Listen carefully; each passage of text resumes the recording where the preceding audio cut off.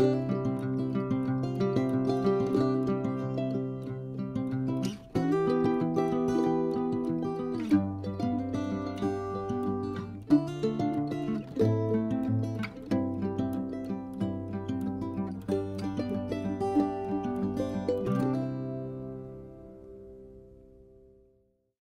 Hello, everyone, and welcome to Serpentes Sunday for March 20th, 2022. It's the first day of spring in the United States, and the weather is gradually becoming safer for shipping reptiles.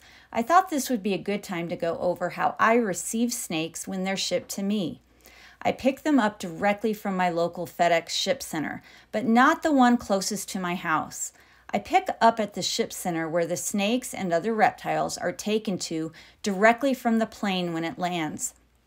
When the FedEx aircraft lands at the airport, the reptiles are offloaded and driven to a sort center, and I pick up directly from there.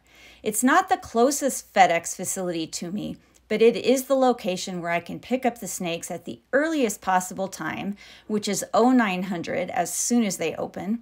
And this means the snakes don't have to be loaded onto another truck to be driven to another location for pickup. It also reduces the time that they're sitting in a box. I open up the boxes and check on the snakes right there, either inside the FedEx lobby or outside in the parking lot in my vehicle. This way, I can check the welfare of the animal, and if there's any problem, I can report it immediately, and the FedEx personnel are there as witnesses. I open the deli container or the bag to look inside and make sure the snakes are alive, active, and alert. I do not remove them from their container. I just look at them. Once I see that they're okay, I place the open container into a transport tub for the drive home, which is about an hour for me. This way, I'm not being intrusive and invading the snake's personal space. I don't want to do anything that makes them afraid during our first encounter with each other. They are free to come out in their own time as they choose to. Some snakes actually pop right out immediately, sometimes before I'm even ready for them to, and they display a propensity for boldness and exploration.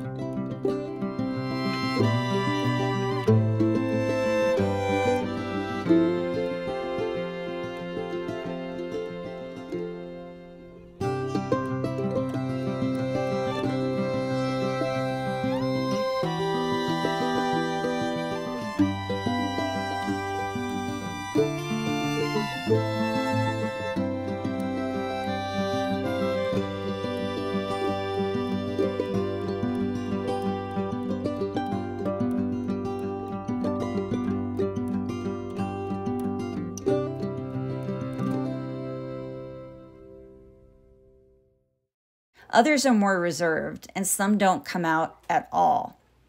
If they come out immediately and are attempting to explore in a relaxed fashion, I allow them to for a few minutes and I don't immediately shove them into a container and put the lid on.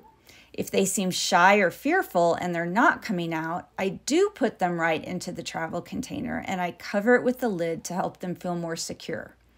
I try to make the snake's first experience with me as positive as possible and avoid making the interaction aversive if I can.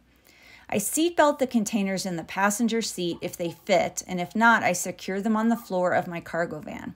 This might be the case for larger snakes who I've placed in bigger transport containers than what will fit in the seat, or for containers that the seatbelt won't safely fit around, and then we head home. To learn more about shipping, packaging, and receiving live animals, I recommend going to Ship Your Reptiles website where they provide detailed information about all things shipping.